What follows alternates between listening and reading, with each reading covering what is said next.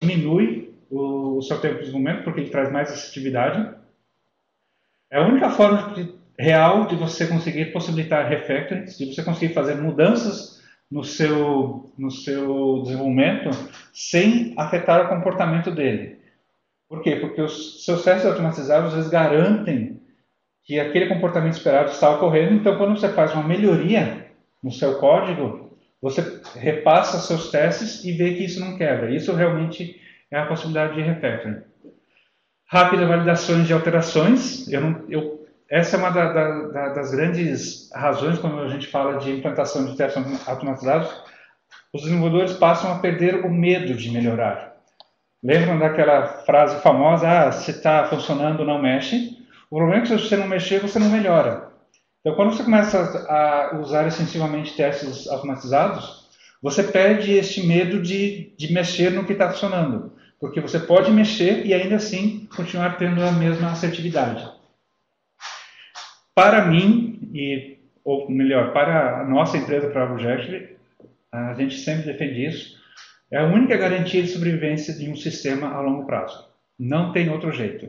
Se você não tiver teste automatizado, o seu sistema ele, ele, ele começa a, a cada vez ficar mais caótico e cada vez mais insustentável. Somente com teste automatizado você tem a garantia a longo prazo. Para vocês terem uma ideia, o nosso produto principal hoje, ele tem quase, ele tem quase não, tem mais de 20 anos de desenvolvimento e é, usam as mesmas classes desenvolvidas há mais de 20 anos atrás e a nossa única forma de ter garantia desse mesmo sistema estar rodando até hoje é a questão da a aplicação de testes automatizados.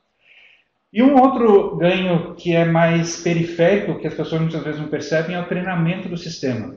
Quando você começa a fazer bastantes, bastante testes sobre o seu sistema, a própria documentação do sistema ela fica integrada ao seu teste.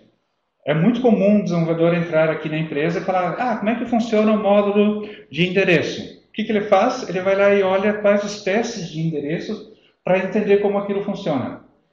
É, e assim ele gera um conhecimento que vai cada vez agregando mais em função do sistema e é um, e é um conhecimento sempre atualizado, porque seus testes sempre estão atualizados.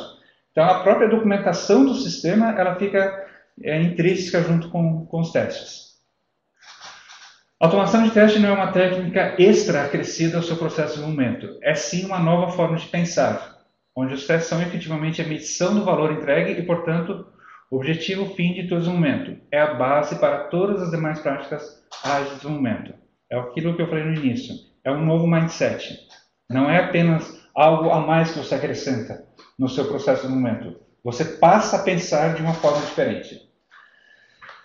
E aí tem uma frase aqui da, que eu peguei no artigo da, da Shirley Ronin, testing is everywhere, if you want testing to be everywhere, we need testing to be done by everywhere.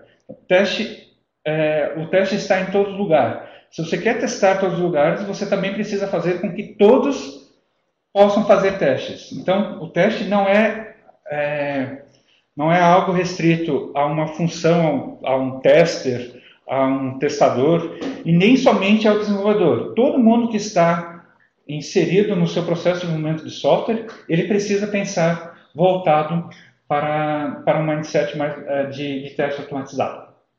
Legal. Quais são os tipos de testes que são comumente utilizados em, quando a gente fala em automação? Tem diversos tipos, nomenclaturas. É, eu já tenho visto por aí até essas mesmas nomenclaturas sendo usadas é, de formas confusas e muitas vezes é, o mesmo nome significa para uns uma coisa, para outros outros. É, mas eu vou, eu vou tentar colocar aqui o que, o que a gente entende por tipos de testes. A gente tem testes unitários. Testes unitários são testes pequenos que servem para você verificar apenas um comportamento bem específico de uma classe então é, é o teste de código mesmo, muito, muito intrínseco a cada classe do seu negócio. Testes funcionais. Testes funcionais são testes que eles enxergam mais um end-to-end -end de uma funcionalidade. Tá? Então, eu vejo uma feature uh, do, do, seu sistema, por exemplo, um cadastro de uma pessoa. Então, vai desde to passar todos os campos, aquilo lá ser salvo, disparar e-mails, etc. Então, é o, é end-to-end -end de uma funcionalidade. Testes de aceitação são testes feitos geralmente pelo é, projetados pelo usuário do sistema, onde ele vai falar, ó, para que essa funcionalidade seja aceita, eu quero que esses testes aqui passem. E ele faz uma descrição desses testes, e esses testes depois passam a ser automatizados também. Testes de integração são testes é, onde você coloca outros sistemas envolvidos. Eu faço a interface com, com outros sistemas. Teste de, de, sistemas é de uso mesmo do, do, do sistema. Teste de performance, como o próprio nome diz, carga. E testes de GUI, testes de tela, são testes que eles são executados sempre sobre o ponto de vista de telas.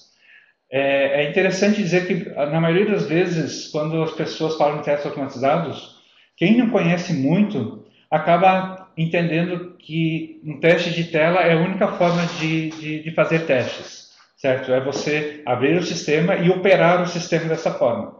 Na nossa experiência, o que a gente enxerga é que eles são importantes, mas a grande maioria dos testes elas estão espalhados nos demais tipos, principalmente em testes funcionais e testes unitários. É aonde você tem o maior benefício da, do, do, quando você aplica testes automatizados.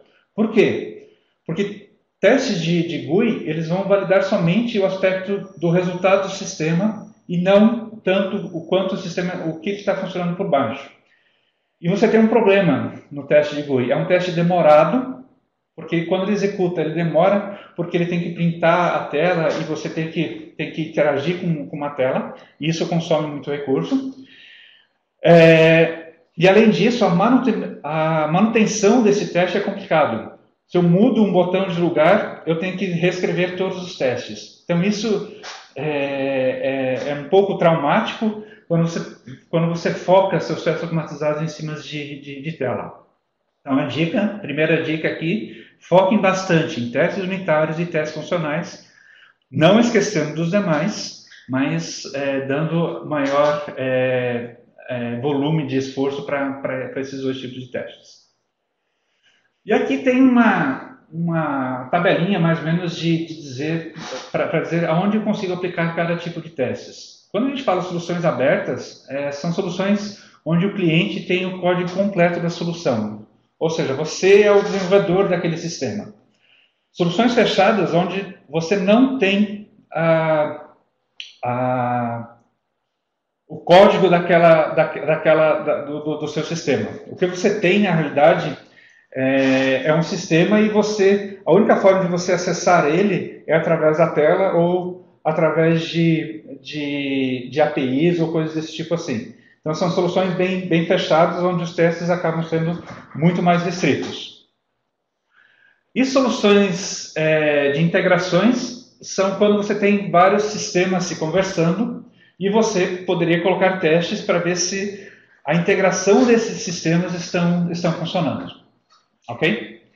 Então, testes, é, soluções abertas, você consegue aplicar todos os tipos de testes, certo? Unitários, funcionais, aceitação, integração, sistema, performance e GUI. Soluções fechadas, eu não consigo fazer teste unitário, porque eu não tenho, é, eu não tenho domínio sobre a, as classes de negócio, sobre o código. Mesmo os testes funcionais, eles são, eles são parciais. As soluções fechadas eu não consigo, dependendo de como que, que, que está é, o sistema sobre o qual eu quero testar, eu não consigo fazer completamente esse teste. E aí eu tenho que focar mais em testes de GUI, performance e sistemas. Integrações, como o próprio nome já diz, são aonde os testes mais válidos aqui são, obviamente, os testes de integrações e, e aceitação e performance. Ok? Legal. É, e agora, quais são as técnicas para você implantar um teste automatizado. A mais comum, mais difundida, é, a, é o chamado TDD, é o Test Driven Development, onde você basicamente muda a sua forma de pensar e você começa com, como sendo o primeiro passo, adicionando um teste. Então, assim, eu quero fazer um novo sistema. A primeira coisa que você faz, pensa num teste. Segundo, executa o teste e observa o resultado. Terceiro, escreve o código para que aquele teste passe. Na primeira vez o teste sempre quebra, porque você não tem código. Então, no terceiro passo, você escreve um código que simplesmente faz com que aquele seu teste que você executou, ele passe a dar positivo. Depois, você executa todos os demais testes que você já escreveu, então é um, é um ciclo contínuo. Refatora o código que você, é, de, que você escreveu, sem alterar os testes, e começa de novo. E vai fazendo esse ciclo continuamente. Adiciona um teste, escreve o, o, o código para passar aquele teste, refatora. Adiciona um teste, escreve o código e refatora. E assim sucessivamente, e você vai crescendo o seu, o seu sistema. Vou tentar dar um pouquinho de, de prática nisso aqui, só para fazer um exemplo. Quem não conhece muito de, de desenvolvimento, não se preocupe aqui, assim, é, tentei ser bem simples, tá? É, acho que vocês vão conseguir acompanhar isso daqui. Mas vamos dizer assim, eu quero trabalhar, eu quero criar um cadastro de uma pessoa. Então a primeira coisa que eu faço é criar uma classe de teste para essa pessoa. Então aqui eu fiz um, um teste simplesinho, onde eu crio uma nova pessoa e aí eu testo se eu, nessa nova pessoa eu testo, eu passo como parâmetro dela o nome João e eu pesquiso e vejo se ele existe. Ok? Primeira vez que eu vou executar o teste, o que, que vai acontecer? Ele vai reclamar, ó, você está falando aqui que você está usando a classe pessoa, mas essa classe pessoa nem existe ainda. Beleza? Então eu vou fazer um código, vou criar uma classe pessoa só para que ele compile esse código. Aí fala, legal, beleza, só que ainda não existe um parâmetro João, um parâmetro de uma string. Então eu vou lá, crio um construtor para pegar este parâmetro que eu estou usando aqui. Vai falar, ah, beleza, agora isso aqui está funcionando. Só que eu vou tentar usar um pesquisa nome e essa pessoa não tem esse método pesquisa nome. O que, que eu faço? Eu vou lá e escrevo somente esse código pesquisa nome. E aí, com isso aqui escrito, o meu teste passa a funcionar. Legal? Agora eu vou escrever um outro teste aqui em seguida. Teste endereço da pessoa. Eu crio a pessoa, passo o endereço para ela e verifico se aquela pessoa realmente está com aquele endereço. Novamente, ele vai, ele vai reclamar o quê? Ah, não existe a classe endereço, não existe esse construtor. E aí o que, que eu faço? Eu crio a classe endereço, crio o relacionamento na pessoa com aquele endereço, implemento lá no endereço o método construtor para fazer aquilo lá. Tô, eu estou simplesmente respondendo ao meu teste. Eu não estou implementando absolutamente nada mais do que eu escrevi aqui no meu teste, certo? Beleza, fiz a classe endereço que ela, que ela está simplesmente respondendo ao, ao teste que eu fiz aqui na pessoa. Aí falo, putz, agora eu tenho teste, eu tenho uma classe endereço, mas eu quero fazer mais testes. Por exemplo, ah, não pode ter endereço duplicado. Ah, eu quero validar se as cidades e estados estão corretas. E aí eu começo a fazer testes em cima desse, dessa classe endereço e vou acrescentando sempre o código somente para passar aqueles testes. O que, que isso me traz ao final? Me traz ao final que eu tenho todo o meu sistema completamente testado, porque eu fiz a construção dele baseado em cima do, do, do, do, do meu framework de, de teste, em cima do, dos cenários que eu fui construindo. Aí você fala, legal, isso aqui funciona quando você tem um sistema existente, é, um sistema novo. Mas se você tiver um sistema novo existente, que pessoa depende de grupo, endereço depende de contrato, conta, lançamento, assinatura, você tem um monte de classes, e aí essa, essa, esse sistema aqui conversa com banco, conversa com e-mail, outras empresas, banco de dados lá, e aí você fala, se eu fizer um teste aqui, o que vai acontecer? Se eu, se eu chamar um método pessoa, eu não sei o que acontece. Ele pode, de repente, chegar lá, lá no banco e mandar um pagamento para lá, e aí você fala, só porque eu fiz um teste, eu vou quebrar o meu sistema porque eu vou estar chamando é, métodos que eu não tenho condições de saber de antemão o que acontece tudo ali no meio. Como é que resolve isso, então? Como é que você faz um sistema legado? Sistema legado, basicamente, o que você precisa fazer? Quando você vai fazer um teste de uma classe, você, na realidade, teria que cortar as dependências que aquela classe tem com o, com o sistema como um todo, certo? Para quê? Para que quando eu, chamo os métodos dessa, dessa, dessa classe, ele não saia disparando um monte de coisas para o outro lado. Aí entra um conceito chamado de dublê de, de teste. Dublê, você sabe o que, que é? É um cara que se passa por alguém, mas não é aquela pessoa certo? um ator que se passa por outro para fazer a coisa difícil, por exemplo. Em testes é a mesma coisa. Eu, na hora de criar um novo teste, o que, que eu faço? Eu crio duplês para as minhas dependências. Então, nesse caso aqui da pessoa, por exemplo, eu crio um dublê para o grupo, eu crio um dublê para o contrato e crio um, crio um dublê para o meu endereço. E aí eu desligo essas dependências reais com o meu sistema. E aí quando eu vou testar, ao invés de chamar o grupo, ele chama o grupo D. Ao invés de chamar contrato, ele chama o contrato D. Entenderam? E assim eu vou conseguindo fazer. É, é como se fosse simular o resto do sistema, entrando classe a classe. E aí eu faço, fiz da, da, da pessoa, fiz os testes que eu queria, agora para fazer o endereço. Legal. Eu crio a classe de endereço e a partir desse momento eu não preciso mais do dublê de endereço. Por quê? Porque agora eu passo, essa classe passa a ser testada. E aí eu faço ligações desse cara com os demais dublês. E assim eu vou entrando classe a classe, método a método, até eu conseguir atingir todo o meu sistema legado. A ideia disso daí é você não fazer uma virada por completo, não, é você não chegar e falar, ah, se eu quiser fazer um teste, eu tenho que fazer, parar todo, todo o meu desenvolvimento para testar tudo. Não, você vai testando parte por parte, nova, nova classe a nova classe, certo? E não, e não precisa fazer um rollout completo de, de, de teste automatizado do seu sistema como um todo. Então, não é mais desculpa falar, ah, eu tenho um sistema legado muito grande e eu não consigo testar. Não, você consegue fazer isso entrando parte a parte no, no, no seu sistema, entrando cada vez mais a fundo até você conseguir ter o seu sistema como todo testado. Alguns exemplos de dublês, de técnicas de, de dublês de teste, que é chamado teste doubles.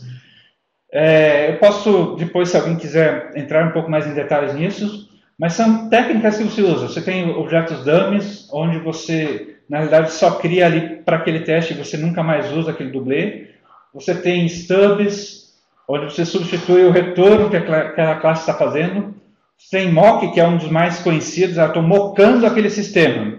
Eu estou simulando aquele sistema como, como um todo. Aquela, ou aquela classe, eu estou simulando o, a execução daquela lá com uma classe dublê.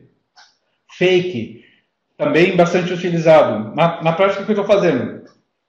Eu crio uma outra classe que ela é funcional, só que ela não tem as ligações, por exemplo, com e-mail, com banco de dados. Ela é, uma, é como se fosse uma classe real, mas ela é mais simples. Serve só para você usar para testes, mas você também consegue usar para outras coisas, como ah, debugar erros, coisas tipo assim. Essas classes fake são bastante interessantes. E os spies, espiões, na verdade não são testes reais eles servem para você registrar, para você logar uh, o que está acontecendo no sistema e você assim conseguir aprender o que, que realmente está acontecendo por debaixo dos panos. Legal? Rapidamente contar um pouquinho da nossa história de como que a gente evoluiu os testes. Como que aqui na, na, na, na Object nós crescemos desde o conceito até hoje mais de 40 mil testes funcionais rodando em nuvem. A Objective é uma empresa que foi fundada entre 94 e 95. A gente já começou com orientação dos objetos naquela época. A gente tinha já camada de persistência é, bem usual na, na, naquela época que a gente mesmo tinha desenvolvido e a gente trabalhava com testes manuais em 94. Em 98 a gente é, começou a fazer teste automatizado todo o novo, todo novo desenvolvimento ele só entrava se ele era coberto por teste e toda mudança no nosso legado a gente é, estabeleceu. Qualquer classe que você mexer no nosso legado vai ter que ser testada também. E aí, só que em 98 não existia JUnit, não existia nada de, de teste automatizado, nenhum framework. Então nós mesmos desenvolvemos o nosso nosso framework de teste. Ele já era visual, já tinha, já testava negócio, já testava tela e a gente fez o nosso primeiro cenário automático de, de que a gente chama de harness em, em 98. E é interessante uma, uma, uma, coisa que é bem legal dizer, é, todo commit hoje que um desenvolvedor faz hoje em 2016, ele ainda está rodando os mesmos testes que a gente criou lá em 98. Parte desses testes então, foram escritos lá em 98 e até hoje estão sendo rodados. Depois a gente começou a, a, trabalhar, ao invés de camada de persistência, a gente inventou um, um, um conceito chamado de camada de insistência, para a gente não ter mais a dependência do banco de dados. A gente implementou um relógio virtual, é, para que a gente pudesse avançar o tempo. Ah, eu quero fazer um, um teste de um, mal, sei lá, um reajuste de valor que acontece toda a, a cada ano. Eu tenho que avançar o meu tempo no, como se fosse um ano e eu quero que o meu teste também avance isso no, no, no tempo. Então a gente implementou um conceito de relógio virtual onde eu consigo controlar o avanço do tempo de todo o sistema. A gente implementou níveis de camada para facilitar a nossa, a, nossa carga de dados para dentro dos testes. Quando a gente fala de teste automatizado, a gente tem que pensar que cada teste não pode depender dos demais testes. Então, todo teste tenho que criar todo um conjunto de, de, de novos dados e é, para fazer o teste. E eu preciso, existem formas de eu deixar isso mais rápido. Uma das formas que a gente fez foi níveis de camada, que é a criação de ambientes em, em formas é, incrementais. Então, eu, eu crio um nível de, de, dados, faço o teste em cima daqui, depois adiciono mais um outro nível de dados, faço mais testes e vou conseguindo adicionar cada vez mais novas camadas de, de dados. Em 2004, a gente passou a usar é, testes distribuídos, a gente conseguiu tirar um teste de execução de uma máquina só para ser executado paralelamente em diversas máquinas. Implementamos políticas de testes para que cada sistema pudesse se comportar com configurações diferentes de acordo com o cliente que ele estava implantado. Em 2008, nós chegamos a 10 mil cenários funcionais. Em 2010, nós praticamente dobramos a, a equipe que a gente tinha em 2008, e isso a gente só conseguiu fazer porque a gente tinha é, muitos testes funcionais e a gente conseguiu dar vazão para o nosso desenvolvimento. A gente começou a fazer em 2011 chamado é, tanto teste sem nenhuma dependência com banco de dados, quanto teste usando base popular, um novo conceito de tipo de, de, de teste, onde eu uso bases reais de produção para testar performance é, e fluxo é, também de forma automatizada, certo? É, em 2012 nós chegamos a 20 mil testes e aí a gente tinha um problema que os nossos testes demoravam cerca de 48 horas para serem executados e isso era muito, muito tempo e a gente precisava resolver isso aí. A gente tinha que ter um resultado rápido, só que a quantidade de testes cada vez mais fazia com que o nosso, o nosso tempo de execução ele demorasse também. Eu quero mais testes, ok, demora mais tempo para executar. A gente, em 2013, estava com 25 mil e a gente, é, no final de 2013, a gente resolveu fazer uma nova mudança gigantesca no nosso nossa forma de fazer testes é o que utilizando a nuvem, onde eu passei todos os meus testes a serem integrados e eles é, serem disparados a cada commit de um desenvolvedor e e aí o que, o que acontece é quando tem um commit ele dispara paralelamente em dezenas ou até centenas de máquinas na nuvem executa tudo em paralelo e traz o resultado de volta. E assim eu consigo ter mais de 40 mil testes. Eu tenho um sistema escalável. Eu tenho hoje uma execução de todos os testes em cerca de 30 minutos, mas na realidade isso é uma decisão de custo. Se eu quiser diminuir isso aqui para 5 minutos, beleza, eu simplesmente uso é, mais máquinas paralelas lá na nuvem. Isso é tudo automatizado, isso, forma, isso executa tudo de forma transparente e ao final eu tenho a cada commit, então, todos os meus testes sendo, sendo executados. E eu tenho uma possibilidade de, de escalada que antes era inimaginável. Certo? É, como eu falei, começamos lá em 98, hoje a gente tem cerca de é, 18 anos de, de testes é, automatizados. É, são, são os mesmos conceitos, mas hoje a gente está completamente na nuvem completamente é, é, escalável, certo? E só que rodam os mesmos testes que a gente fazia lá e a gente só veio crescendo de, de lá para cá. Legal? É, novamente aqui sobre o Objective. Aqui são alguns cases de sucesso, alguns clientes nossos, certo? Ah, são, vocês podem ver que são clientes bastante grandes, são sistemas bastante críticos. E, e, em todos eles a gente tem implantado testes automatizados em todos os sistemas que a gente é, desenvolve. Uh, é isso aqui.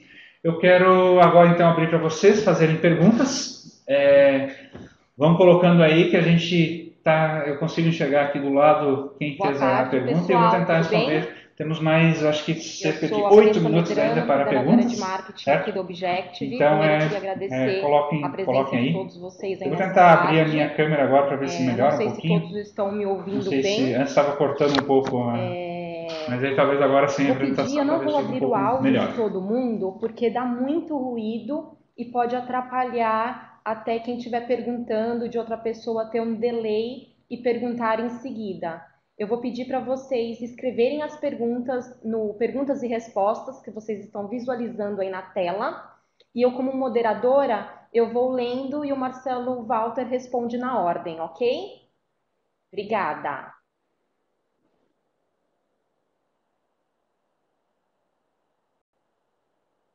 Dúvidas, aproveitem.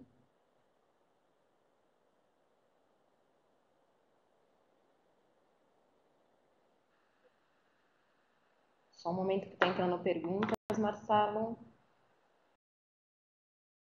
Legal. Denis Teixeira, boa tarde, Marcelo. Primeiramente, parabéns pela apresentação. Só um minuto.